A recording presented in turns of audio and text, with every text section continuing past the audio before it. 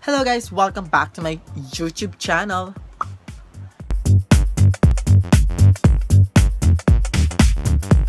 Since wala tayong ginagawa at mahaba pa yung panahon na wala tayong gagawin, magme-makeup ng magme-makeup ng magme-makeup tayo. So nga kanina, nanonood ako sa YouTube, tapos nakita ko yung video ni Sir Albert Cornyawan na mini-makeupan niya si About Raph na-inspired ako dun sa ginawa ni Sir Albert na kulay blue na eyeshadow and red lips. Kasi ako, aminado ako, hindi talaga ako ganun ka-close kay blue. Charot. Hindi ako ganun masyadong malaro sa color blue. So, itatry natin gawin yung ginawa ni Sir Albert Cornyawan kay About Raph and tignan natin kung maa-achieve ko. Just keep on watching. So guys, basa-basa lang ng mukha. So, babasahin lang natin yung test natin para hindi siya mabigla. So, gagamit ulit tayo ng moisturizer para naman ma-moisturize ang face natin bago kapitan ng mock-up. So, ang primer, wag na wag natin kakalimutan yan para mas maganda yung lapat ng makeup sa ating face. Maganda tong primer na to. It's a mattifier. By Quick Fix. So guys, sa video kasi ni Sir Albert, nila about Raph, ang ginawa muna nila is nilagyan muna nila ng details yung eyes bago nila kinover yung face. So ako yung gagawin ko na lang is yung procedure na ginagawa ko which is naglalagay muna ako ng coverage sa face ko bago ako mag-proceed sa mga details. So ang gagamitin kong foundation is itong Photo Ready Airbrush Effect ng Revlon.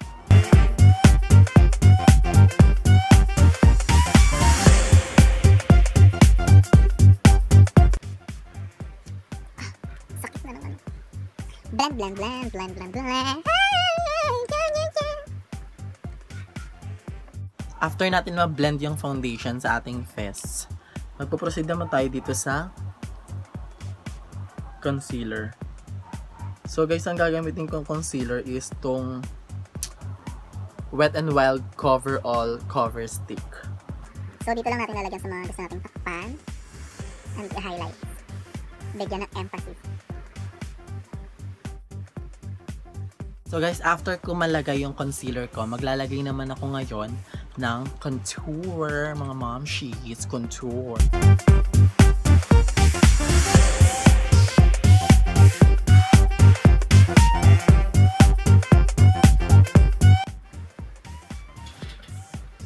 Blend, blend, blend. Three times a day. Blend with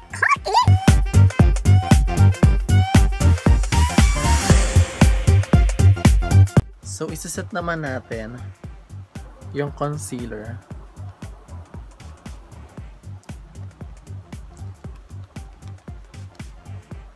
Using this Airspan, Coty Airspan. In translucent.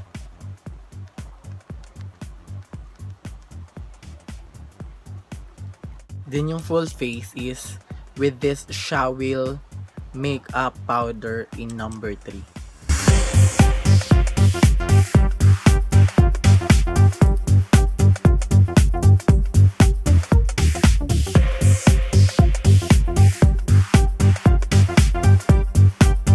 So after natin maset yung full face natin, um, magpo-proceed naman tayo sa brows. So itong ginagamit ko is tong brows, brow styling soap. Hindi ako nag-aahit ng kilay eh. Kaya inaano ko muna siya ng brow soap para mas makita ko yung shape. Then guys, ang gagamitin ko pang kilay is tong Detail Make It Pro Starter Pen in Brown. So guys, ayan, tapos na ako dito sa isang kilay. Then gagawin ko naman yung kabila. So guys, I am done with my eyebrows. So guys, magpuproceed na tayo sa eyeshadow. So ang ginamit ni Sir Albert is wet na flat brush. Kumuha lang siya ng blue. Siguro ito na lang gagamitin natin. Tapos, nilagay niya yun directly sa kanyang lid. So, nakapaglagay na ako ng blue sa aking eyelid. Ang next ko namang gagawin is maglalagay ako ng darker shade ng blue sa outer corner ng aking eyelid.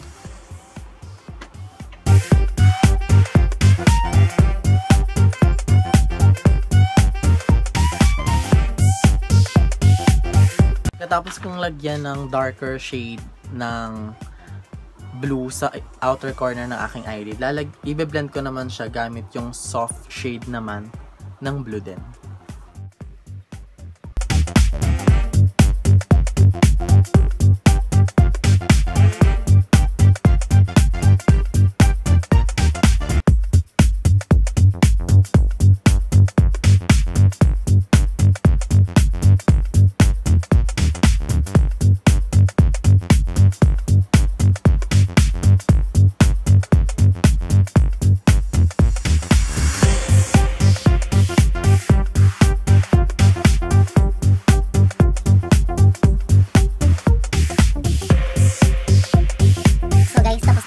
Ko. Ang ga- gagawin ko na lang is maglalagay ako ng falsies at mascara. Ouch!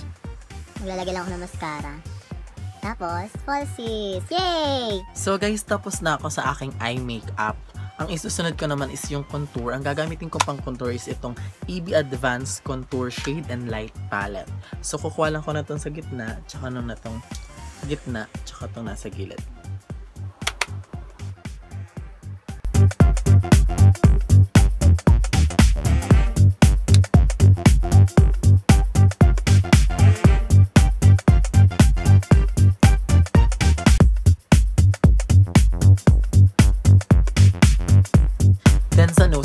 Gagamitin ko is itong Scalp Trio ng BTLA.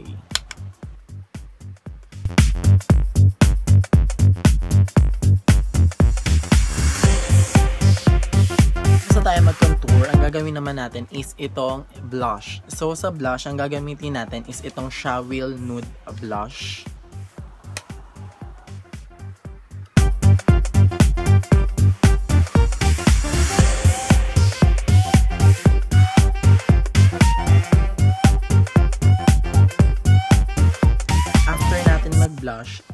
Maglalagay tayo ng highlighter.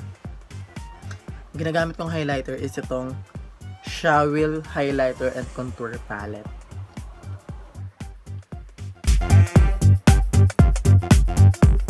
After natin maglagay ng highlighter, magli-lipstick naman tayo. Ang gagamitin kong lipstick it is itong Shawil 501 Hawthorne Color.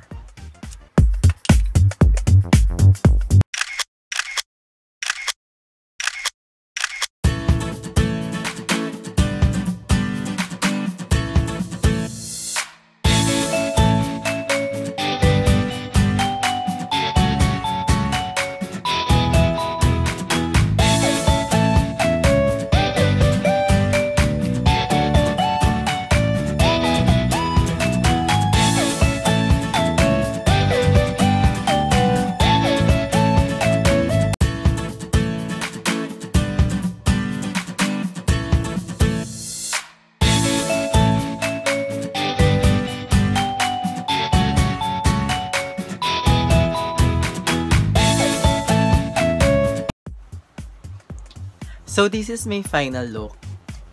If you have comments and suggestion, then kung ano yung mga gusto niyo ipagawa sa akin, comment down below. And if hindi ka pa nakakapag-subscribe sa aking channel, all you have to do is to click the subscribe button below and i-hit nyo na rin yung notification bell para maging updated kayo sa mga susunod kang pang videos. Thank you so much for watching and see you on the next one. Bye-bye!